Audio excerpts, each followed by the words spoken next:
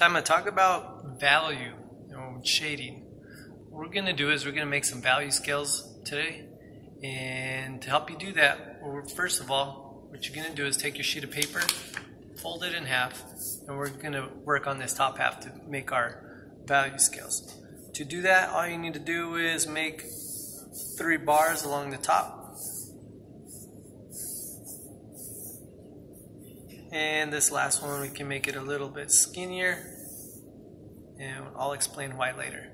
Okay, to go ahead and make your value scales, what we're going to do is we want to find the middle. So going with the middle of this one, you can go ahead and bring that line down for your other ones. And then for this section right here, we can split it up in two, well, three sections by making two lines right? Same thing on this side. Split it up into three sections by adding two lines.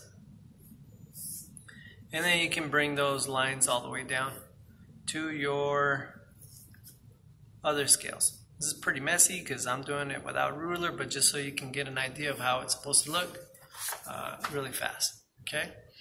Next thing what we're going to do when we go into our value scales is we're going to learn about the three different shading techniques. One of them is called hatching, another one is cross hatching, and the last one is stippling. So let me show you what those look like really quick. Hatching, what you're doing is making a whole bunch of marks run in one direction. You'll notice that it's not a zigzag. I'm not going back and forth like this. What I'm doing is I'm making a line, lifting my pencil, making another line, lifting up my pencil, and another line. Okay? But you don't want to make it look, you know, just like you're using a ruler. It's just a really quick movement. And whenever I'm shading, what I tend to do, I hold my pencil differently from whenever I'm writing. Whenever I'm drawing, I'll hold it out, maybe even turn it. The lighter I'm trying to go, I'll even hold it way further back so I can make really light lines. Okay. So anyways, that's hatching. Cross hatching is similar. You have your strokes going in one direction. The reason it's called cross hatching is because you turn your paper, or you can turn your wrist and go back over it the opposite direction. And your your strokes are crossing over each other. Uh, that's why it's called cross hatching. The last one, stippling. And in my class, this is the way I want you guys to do it. Instead of just banging straight down on your pencil or your marker or whatever it is that we're using, we're going to make short little dashes. Okay? And you're holding your your drawing tool at an angle. So instead of like let's say if you were using a marker, if you're just jamming on the tip, your tip would either go back inside into the marker or you'd end up with a big fat like mushroom. And to avoid that, you just do these little dashes from a side angle and you'll still get the same effect, but you won't be messing up your tool. If we ever use oil pastels as you're working, you can twist the oil pastel and that'll keep it sharp the whole time you're doing it. So we have hatching, cross hatching, and stippling. And what you're going to do on your value scales, this over here is going to be our darkest value. This would be 100%. And this is going to be as black as you can go.